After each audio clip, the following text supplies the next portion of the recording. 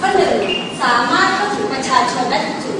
นะคะไม่ว่าจะอยู่ต่างจังหวัดหรือว่าที่ใดในกรุงเทพหรือต่างจังหวัดเราก็สามารถรับฟังวิทยุได้ราคาถูก สร้างความสนุกสนานเพลิดเพลิน